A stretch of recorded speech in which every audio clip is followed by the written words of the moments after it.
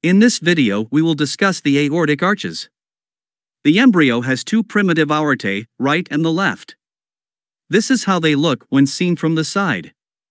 Each primitive aorta has three parts, the ventral aorta, the dorsal aorta, and part connecting the both parts is the arch.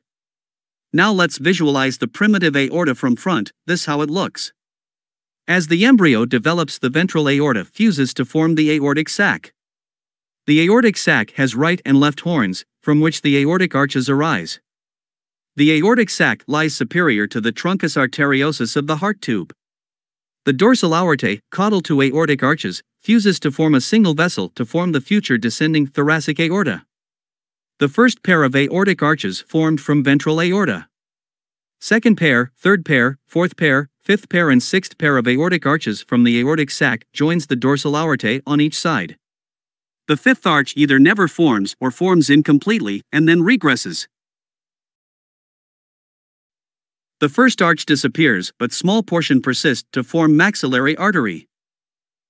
The second arch disappears and remaining portion forms hyoid and stapedial artery. The third arch forms common carotid arteries and proximal part of internal carotid arteries. External carotid artery arises from sprout of third aortic arch. The dorsal aorta between third and fourth arch disappears.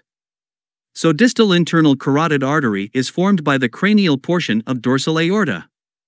The right fourth aortic arch forms proximal part of right subclavian artery and its distal part is formed by portion of the right dorsal aorta and the seventh intersegmental artery. The right dorsal aorta, caudal to seventh intersegmental artery, disappears.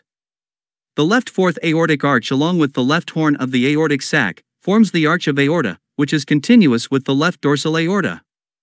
The left subclavian artery arises from left seventh intersegmental artery. The right horn of the aortic sac forms the brachiocephalic trunk. The sixth aortic arch is also called pulmonary arch. The distal portion of pulmonary arteries arises from buds of sixth arch which grows into the developing lungs.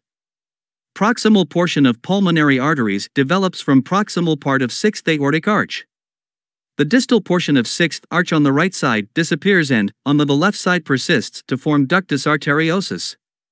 After the partition of truncus arteriosus, main pulmonary artery develops from pulmonary trunk. As the heart shifts caudally during development, left subclavian artery origin shifts higher, close to the origin of left common carotid artery. This completes the development of the aortic arches. Hope the video was useful. See you soon in the next video.